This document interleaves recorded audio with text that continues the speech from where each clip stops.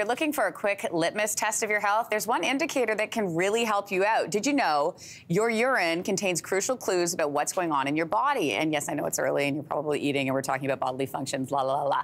But it is a great place to start because you've probably already peed this morning.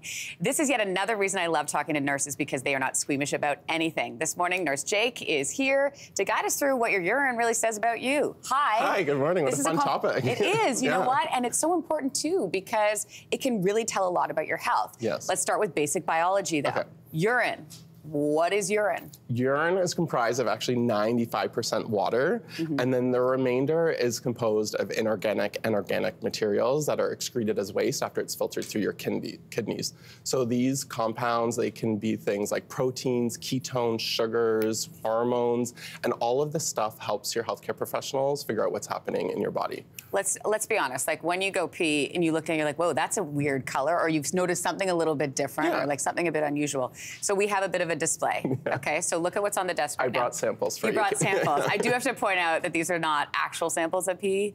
These We are we manufactured. Yeah. You made them yesterday using some juices and other solutions. Yeah. So let's talk about uh, hydration, and let's start with this one. What does that tell you about? If you peed that color, what is So that? if you're peeing clear, this means that you're well hydrated or borderlining on overhydrated in your system. Overhydrated. Yeah, I mean it's really hard to be overhydrated. You have to drink over uh, like plus 20 liters of water in a day, but it could dilute your blood enough that your sodium levels would go down, Mm-hmm. and that could become life-threatening. But most of the times it just means you're well hydrated and it's clear. Okay, is this what we consider normal then, the one next to it? Yeah, so the second one would be normal urine. We have a pigment in our blood called urochrome, and our kidneys pull that out, and that gives our urine the yellow color. So if you're having normal urine, it's going to be a pale to mild yellow color. Okay, so Yeah. when we move on to the middle one, we're starting to get a little bit more orangey. Yeah, dark. What does that mean? Dark orange or amber just means you're likely dehydrated. So again, we have that pigment. When we have enough water on board, it dilutes it. So when you have less water, when you're dehydrated, you're going to have a darker colored urine, um, and more of that pigment is going to show. And it's a clue, and it tells you you need to drink more water. So when you see that, you just drink more water. Yeah, Like, there you go. There's your indicator. I've got to tell you, if this happens, this one. Yeah.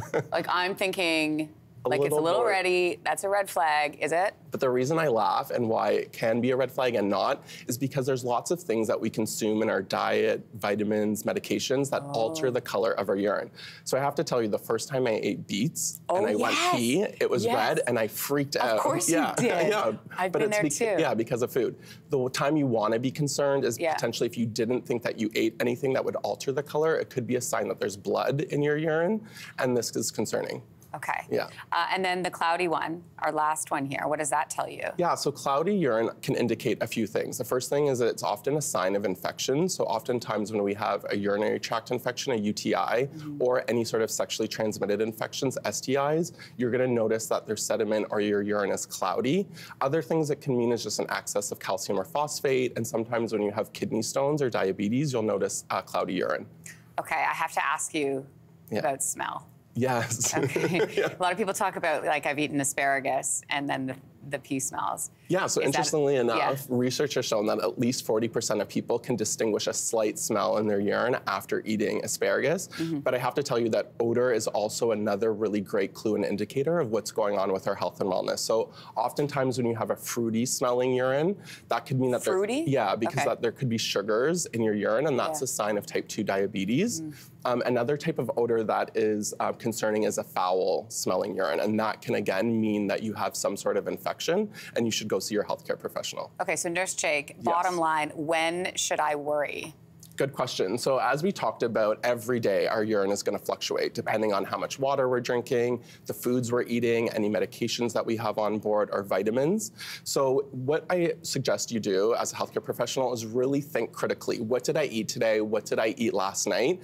And does the color or the smell of my urine reflect what I had in my diet? Mm-hmm. If it does, great. And if it goes back to normal the next day, awesome. But if the changes that you're experiencing are persistent, right? So if you, it's red and it's red for three or four days, Right. if it's cloudy and that's ongoing, if it smells a little bit funky and that's continuing, these are indicators of when you should be worried and go get assessed by your healthcare professional as soon as possible. This is fascinating. Yes. What my? PP says about me, me. Yeah. Thank you.